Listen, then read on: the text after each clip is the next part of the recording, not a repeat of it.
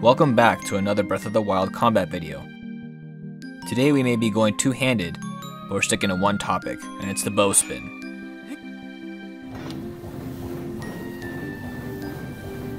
Many players have been asking why the strange mechanic is so heavily used by me, and I'll be sharing knowledge on why it's arguably one of the most powerful skills in Breath of the Wild. Breath of the Wild designed heavy weapons to be damage dealers, and this will push it beyond its limits. I'll teach you how to activate it, its properties while working, why you should use it, and what situations to maximize this best. This was first found by Average Josh in August 2017 as a glitch that caught Breath of the Wild YouTuber Medi's attention and shared it with the world. Most people passed it on as an interesting gimmick with no application in actual fights. That's when I discovered the potential overpowering use in enemy encounters. With lots of testing, the combat effective bow spin was found. Now, let's go over how it works. To start, your main ingredient is any heavy weapon except for the Wind Cleaver. Hold the attack button down to start spin attacking, and then tap Z, R, and B anytime that Link has a handle passed over his head. For those still struggling to see it, here's a hands-on demonstration. Remember that Z, R, and B are tapped at the exact same time. The mechanics of this attack are fairly strange. When it's activated, the biggest change is its attack range.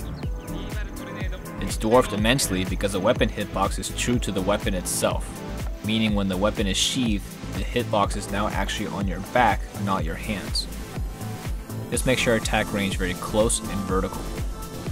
This technique can allow you to hit targets directly below you where it would normally not be possible. On top of that, it also allows you to hit targets directly above you, normally out of reach, while spinning. This technique has most players thinking it doesn't use durability, but it uses it as normal. The ending animation has strange quirks as well. When you first boot the game up and you bow spin, your ending animation will be nothing.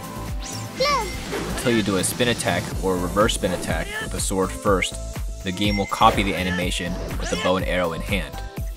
Unfortunately, none of this really matters since the bow and arrow have no effect on the damage of the bow spin. Instead, it's better to learn cancels to escape if needed, by jump canceling, run canceling, or B canceling to escape enemy attacks if threatened. It's also important to note that Urbosa's Fury does not work during bow spins.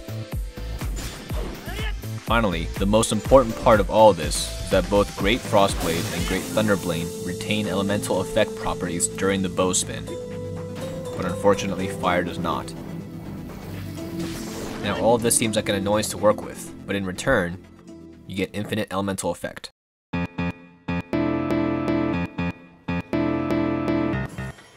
We're going to first start with the freeze chain. This is withholding that you have enough stamina and durability in your sword, an inescapable loop.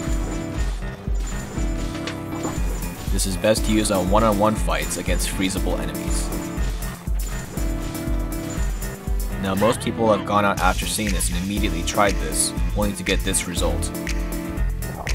This wastes precious durability and stamina chasing down the poor enemies sliding around.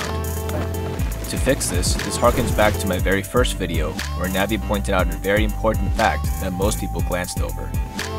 The enemy must be down on the ground or in the middle of his wake up animation to prevent being knocked away. On the other side of the coin, if you correctly freeze them during wake up but fail to bow spin, you only get 4 hits before you run out of freezing power, which at that point you'll be most likely tasting dirt.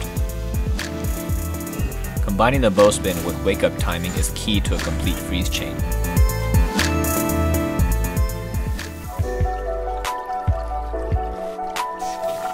Next up, we're going to learn the Thunderdome chain.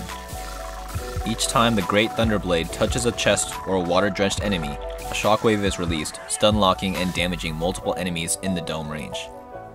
The first version is the chest loop. This requires two strange things, an amiibo and a corner.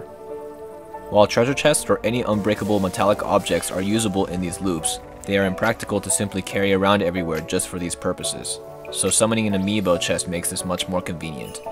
Hitting a chest on its own is possible, but not recommended since each hit knocks it slightly away, causing the chain to move away in random directions. Hello. Lodging the chest in a corner that won't allow it to move away locks both the enemies and the chest in place.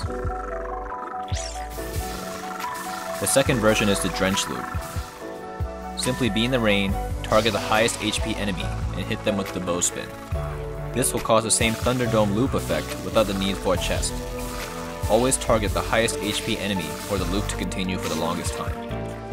You can get the same effect in good weather by dampening them with a standard Chuchu jelly, causing them to be drenched as well.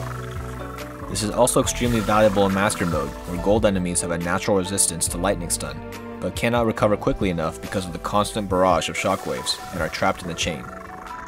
Between multiple water and metal conductible options, there's almost always a way to create your own Thunderdome chain.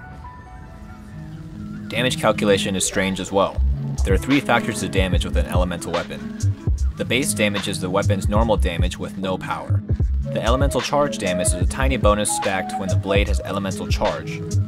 And the elemental effect damage, which is completely different with each element. What the bowspin does is immediately cancels the elemental charge, but infinitely outputs the elemental effects until the spin is stopped. This ability is why the bowspin is so powerful. I recommend checking out the Breath of the Wild Compendium for more in-depth information on how damage is calculated. Finally is potential DPS, or damage per second increase through some pretty incredible double hit possibilities. Double hit allows 2 hits per single spin, doubling your DPS. The most common double hit players know is the Lynel's left front foreleg when stunned, but bow spinning allows easy double hits on a multitude of enemies, previously impossible while normally spinning. DPS is immensely important when you try to maximize damage while they're stunned, and increasing damage per stamina used ratio. This, as you might have guessed, can ultimately be combined to double the DPS of previously shown freeze chains or thunderdome chains to absolutely destroy single or multiple enemies while saving more stamina to spare. Each enemy's double hit location varies, so test out each enemy and find their weak point. While this seems like an insanely powerful skill, the fact that it requires specific weapons with limited durability, heavy stamina requirements, and that doesn't work with every situation and enemy still makes this a niche technique and more rewarding to use it when the time is right. Hopefully this guide will help you in future endeavors in your fights against Hyrule's beasts. If you like this video, please like and share, and don't be afraid to comment with questions about this technique, as there were several things I couldn't fit in this video. Either I or a fellow player will help answer to the best of our ability. As one of the last tutorial videos, I want to thank the community for being so supportive of my work, and hopefully we'll see each other again in the next Zelda adventure.